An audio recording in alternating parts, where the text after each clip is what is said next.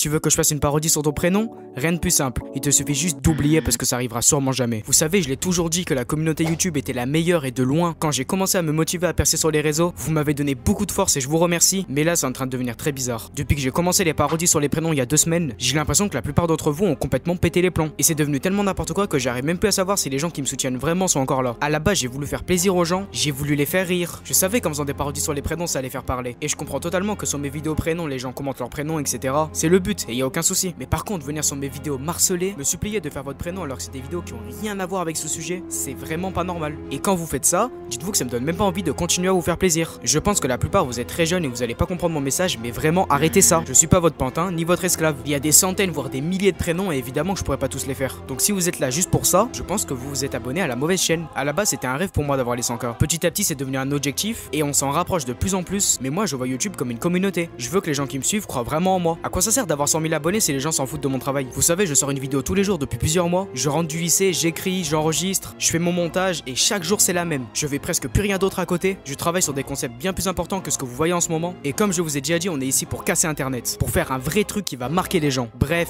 j'ai un plan et je vais tout faire pour réaliser mon rêve. Alors si tu crois en moi, monte dans le train et je te promets que je vais être ton abonnement le plus rentable de ces deux prochaines années. Si tu es juste là pour ton prénom et que t'en as rien à foutre de moi, tu peux descendre du train et me laisser écrire l'histoire avec mes vrais abonnés. C'était Ivan Zuma et je vous dis à bientôt.